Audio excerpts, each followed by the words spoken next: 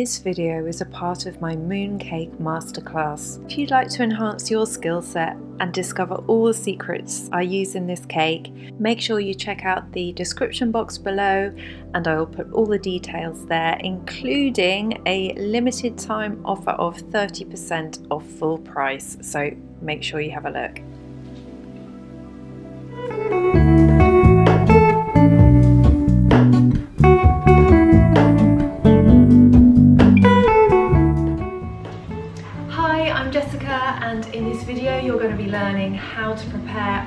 Isomalt from its raw form and basically this is going to save you a ton of money from buying it ready prepared in packs where you just have to literally heat it up and melt it down.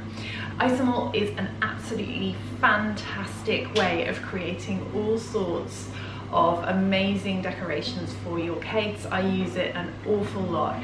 Uh, before you go using it though, if you've never used Isomalt before, there's a couple of things that you really, really need to understand. Uh, first of all, it is an edible medium.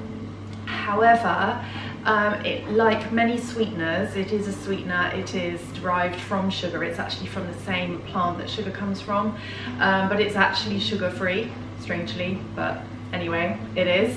Like many sweeteners, there's only so much you should consume of it at one time. So in a day, I think the recommendations are about 25 grams for a child and about 50 grams for an adult.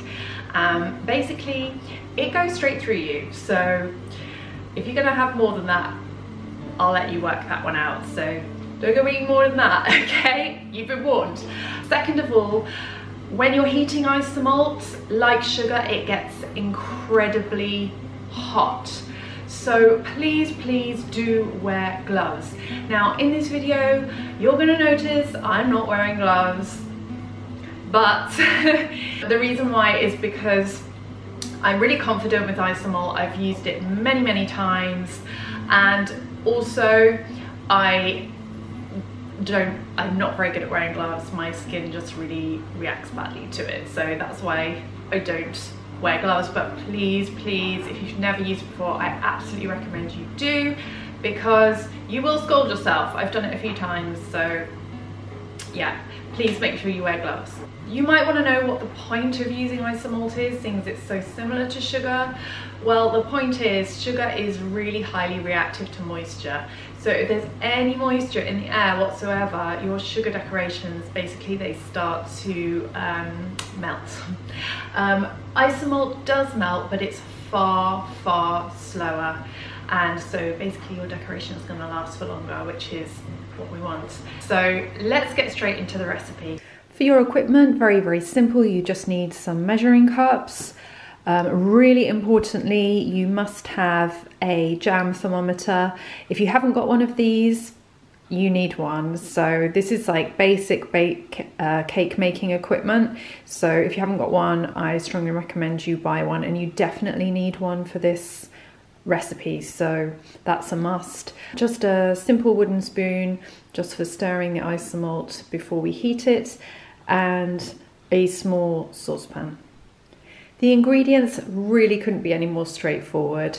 It's just raw isomalt and water, and I'll get into the amounts in a moment.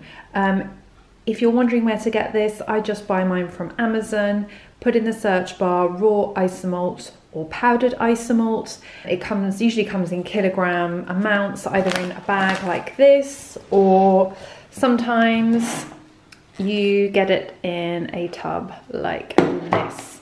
You'll know if it's the right thing because the ready-made isomalt, the price difference is massive, so it'll be really, really obvious.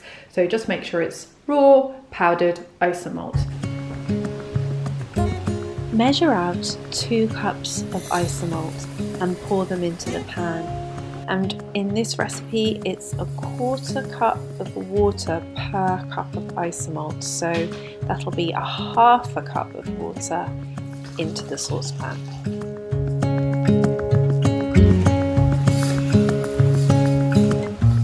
Using the wooden spoon, stir the mixture and combine it until it looks the same texture as wet sand.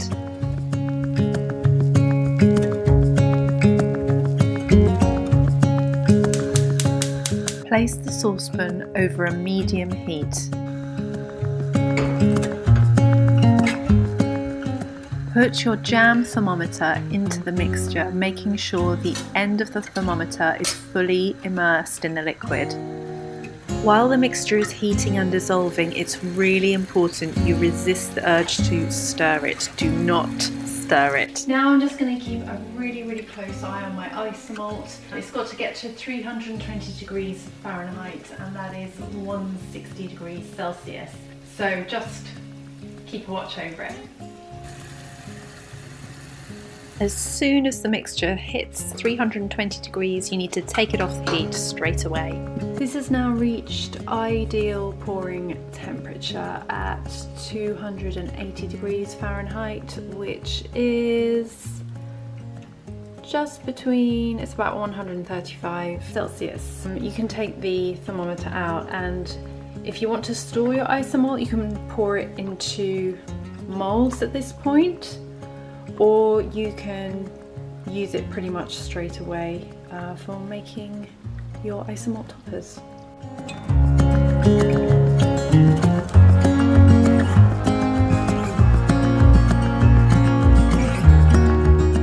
So once you've poured these into a mould, leave them to cool completely and they can be put inside an airtight container. These can then be reheated melted down and used again. Just be careful you don't overheat them otherwise they'll burn and go yellow. Um, you can also heat them on increments in the microwave.